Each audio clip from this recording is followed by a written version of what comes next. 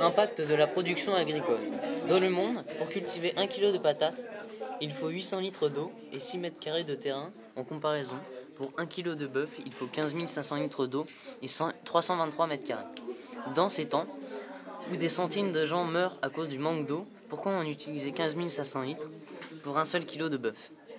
Nous utiliserons aussi 1 milliard de tonnes de céréales pour l'alimentation animale. Nous pourrions réduire cela et donner plus de céréales aux humains.